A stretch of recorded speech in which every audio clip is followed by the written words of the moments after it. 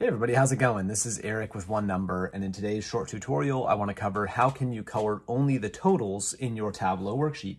Um, this is a student posed by a question, um, so I appreciate that. You're always welcome to ask me questions and try and uh, find answers to them. So let's say we've got a scenario like this, and I just want to color the total, you know, one color if it's above 50,000 and another color if it's below 50,000, and I do not want the individual cells colored. So one quick option I have for this is uh, my initial solution was, can we set it up so if there's only a single category, then it says uh, that's not a total. And if there's multiple categories, it is a total. Okay. So the way this would work is I'll say, uh, you know, total goal. And so the calculation, get out of the way here, it would look like this. So if the count distinct of the category field is one, then not a total, right? If it's only the office supplies value, it's not a total.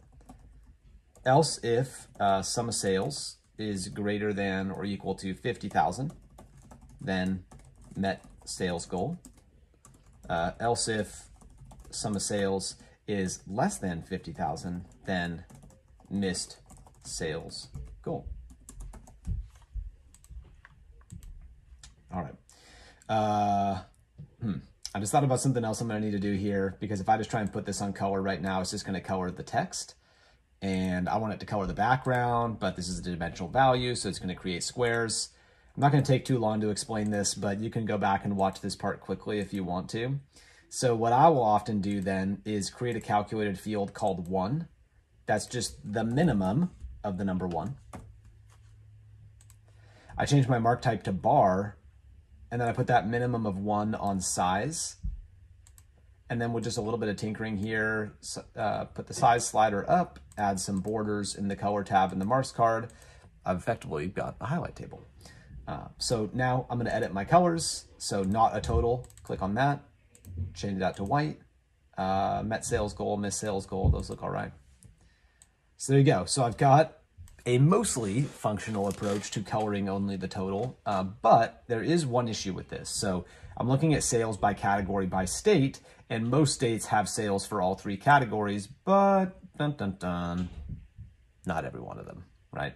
Unfortunately, North Dakota and Wyoming why'd you do this to us? Uh, those didn't work. Okay, so there is an alternative to this, which would just be creating an individual calculation for each of the four columns that I wanna show here. So like I would have furniture sales and office supply sales and so on. So I'll just try and do this part quickly. So here I would just say if category equals furniture, then sales right? I'm gonna duplicate that a couple times and we'll just use that same template for office supplies.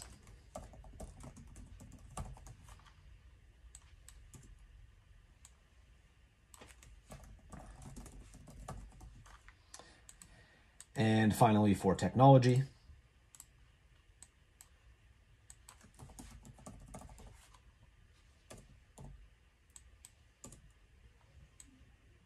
Okay? So then I'm thinking the way this would work, I'm gonna take category off of columns. So instead we'll put, let me think about this, uh, where are fields? Furniture sales, that'll go on text first. Uh, office supplies, I'll double click on that. Technology, I'll double click on that. And then just sales.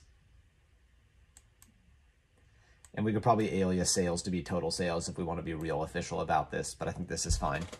So now I need to color just the last column, but not the other columns. So I think there's a way with some um, custom uh, colors, conditional formatting, we could do this.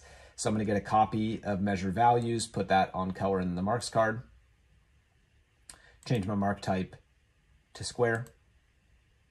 The measure values that's on color, I'm gonna go here to the pill, hit the drop down, use separate legends.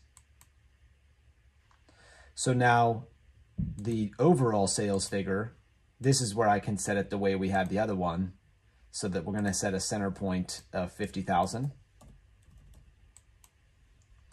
And then if I want to make it only just strictly two colors, then I could just say stepped color just two of them.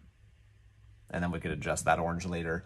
The other ones are a little bit trickier. Um, I would need to edit the colors here and then I want to see what happens if I just pick like a range like that. It is putting a little gray in there. So I may have to get a, a bit custom with this. Um, I think I've done like custom sequential palettes in the past that are all white. Um, hmm. I have to tinker with this a little bit and see if I can get it just right. I'll probably just get it as close as I can for now and not have this video run on too long. But essentially, yeah, if I did two stepped colors with a white on either end, then it would get that column to be white. So I'll just have to go through these each. Okay, uh, I need diverging ideally. Two colors and then customize it by clicking those values at the end and then just picking white from our options. If you want to drop grid lines in there, you probably can, maybe doing some formatting. Uh, but I'll probably leave it here, not quite fully finished. So those are a couple different ideas for coloring only the totals in your worksheet. And uh, yeah, I hope that's helpful. I hope that uh, answers a question that you had and gives you an idea for which solution uh, might be best for your scenario. So thanks for dropping in and checking this video out, and we look forward to catching you on another tutorial here very soon.